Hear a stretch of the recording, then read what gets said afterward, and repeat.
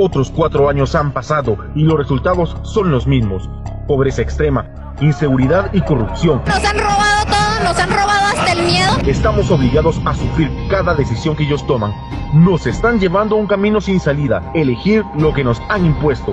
Se habla de corrupción en otros lados, sin darnos cuenta que el cáncer de la democracia ha estado allí siempre.